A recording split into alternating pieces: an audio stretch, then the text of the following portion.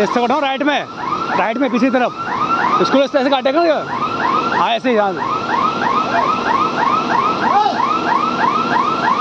बहुत बहुत बहुत बहुत